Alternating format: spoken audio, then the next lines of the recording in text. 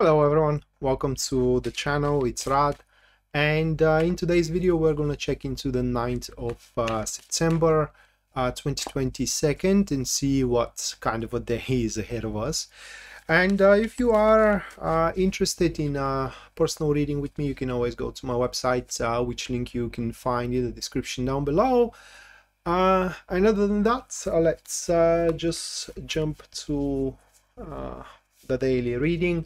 The first card for the day, that's going to be the Sun card followed by the second card of the day we do have the 10 uh it's, it's the 10 of swords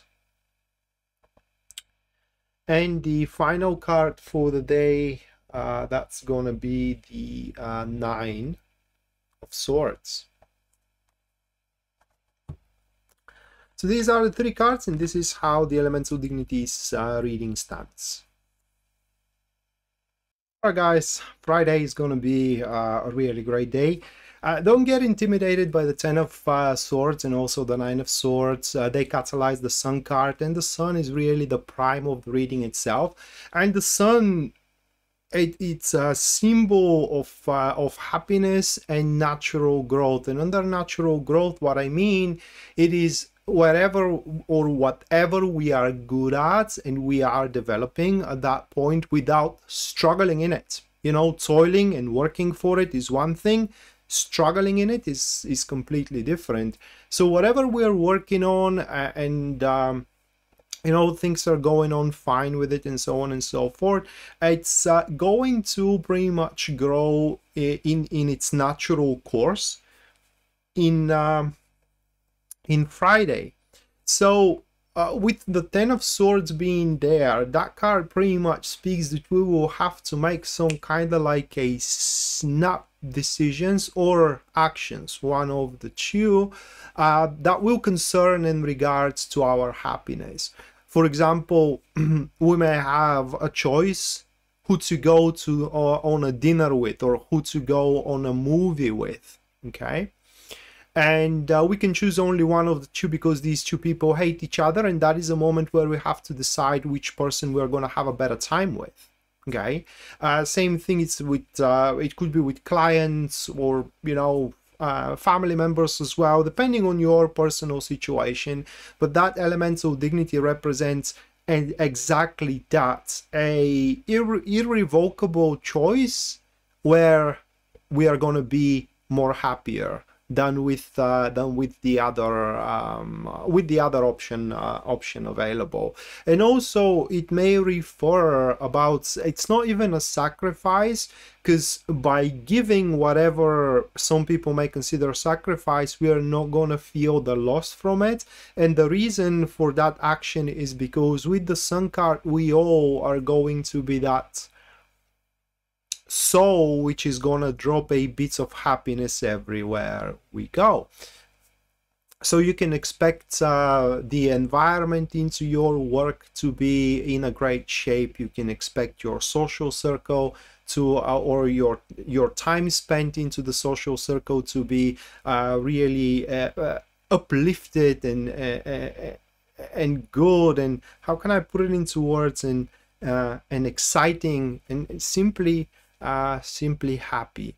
Uh, also, those cards may call for some financial investments because the Sun card, in its general sense, it could speak for a monetary success because that is the only natural development after you did a successful business maneuvers, right?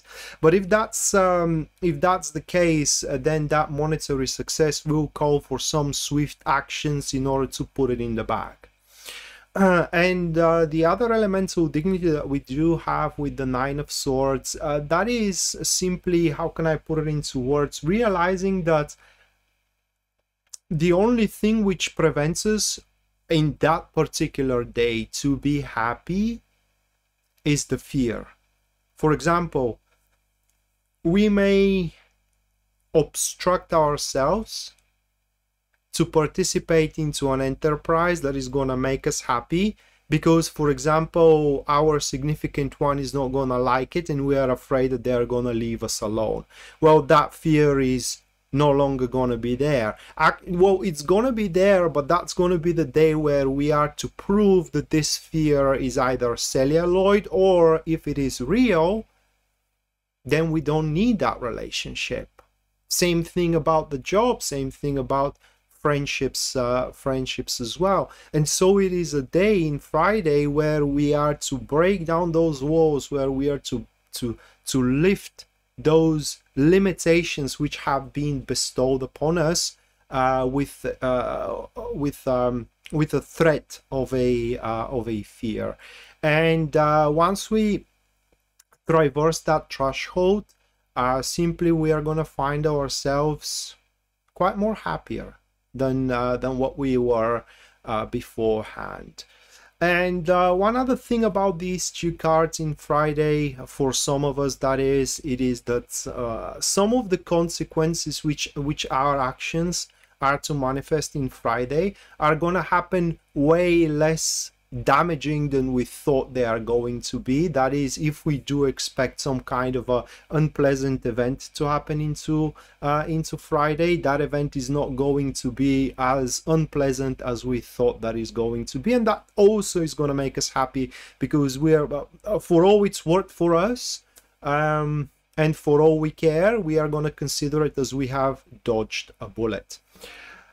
Uh, if you do want to be happy at Friday, guys, make someone you love happy, and uh, you are not gonna make mistake with that act. And that is uh, the daily reading. Hopefully you do enjoy it and you do liked it, and we're gonna see each other next time. Until then, bye.